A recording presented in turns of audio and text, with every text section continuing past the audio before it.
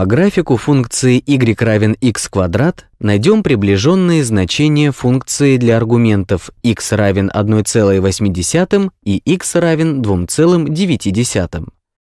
При x равном 1,8 y приблизительно равен 3,3. При x равном 2,9 y приблизительно равен 8,4. Найдем точные значения функции при указанных значениях аргумента. При x равном 1,8 y равен x квадрат, равен 1,8 в квадрате и равен 3,24. При x равном 2,9 y равен x квадрат, равен 2,9 в квадрате и равен 8,41. Посмотрим, насколько отличаются приближенные значения от точных. Вычтем из 3,3 3,24 и получим 0,6. В первом случае приближенное значение отличается от точного на 0,6. Вычтем из 8,41 8,4 и получим 0,1. Во втором случае приближенное значение отличается от точного на 0,1. Для того, чтобы узнать разницу между приближенным значением и точным, мы из большего значения вычли меньшее. Иными словами, мы нашли модуль разницы точного и приближенного значений.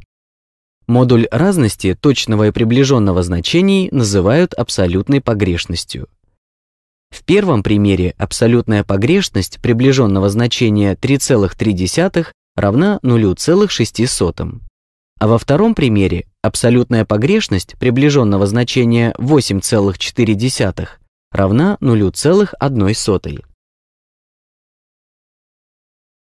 В некоторых случаях абсолютную погрешность найти невозможно.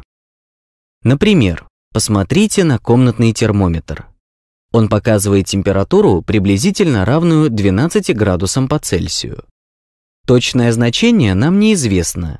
Значит, абсолютную погрешность мы вычислить не можем. Но можем указать такое число, больше которого абсолютная погрешность быть не может. В нашем примере это может быть 1, так как шкала деления термометра равна 1 градусу. Модуль разницы между точным значением температуры в комнате и 12 меньше либо равен 1.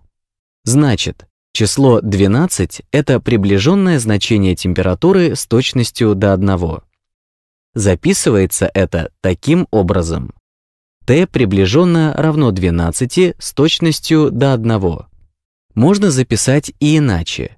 T равно 12 плюс-минус 1 это значит, что значение температуры расположено между значением 12 минус 1, то есть 11, и значением 12 плюс 1, то есть 13.